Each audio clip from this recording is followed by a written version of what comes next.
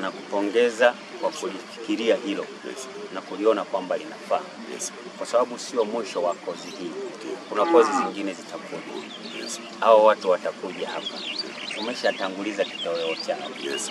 Kwa hiyo itakuwa hamna tena kuombana vitoweo, yes. ataendelea kuwalisha wale watakao Yes. Kwa hiyo ongera sana na wewe, ng'ombe hawa ishirini nadhani wanakufaa.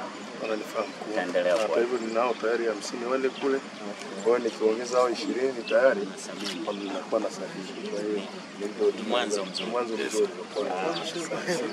Mkuu wa kikosi kwa kumnunulia ng'ombe idadi ishirini ili anapoingia kwenye mchakato wa, wa kujilisha basi afanye vizuri.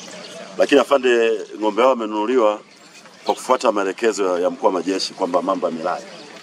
Kwa tukasema, kwa sababu na sisi tumekuwa hapa muda mrefu, moja kati ya miradi ambayo tuko nafanya kama shule tukishirikiana na wenzetu, basi tuache faida ya ng'ombe ishirini ili aweze kuendeleza utatu.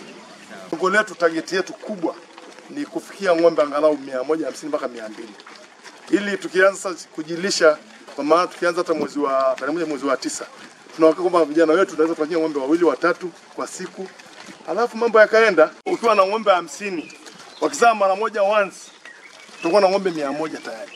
Ukiwa na ng'ombe mia moja hamsini wakazaa mara moja kwa mwaka, na ng'ombe mia tatu na hii inawezekana, na ndio tumeanza. Kwa hiyo lengo letu kwa kweli ni kuanza kwa nguvu zote, na tumeshaanza.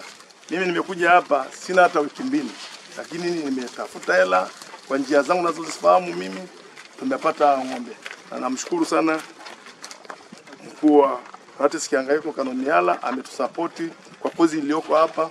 Umesema waache alama fulani ambayo ndio hii ng'ombe ishirini ametoa eh, na pia ametusapoti kwenye ukuta wa kuingia kikosini, kwa maana mlango mkuu ametusapoti pale milioni tisa.